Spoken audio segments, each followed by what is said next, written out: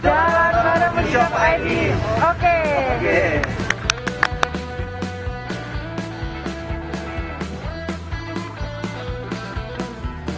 Nah, hari ini videografi sama Mas Fajar seru banget sih. Eh, maksudnya kalau dari gue pribadi sih tadi gue eh, ngomongin vlog acara kali ini nih, pokoknya seru banget kita banyak belajar dari Mas Fajar tentang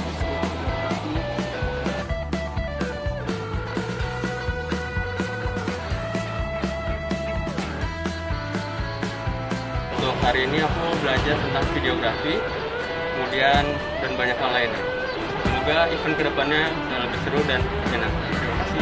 Tadi kita ke petak 9, petak 6 Seru banget, bisa sharing sama teman-teman Antusiasnya oke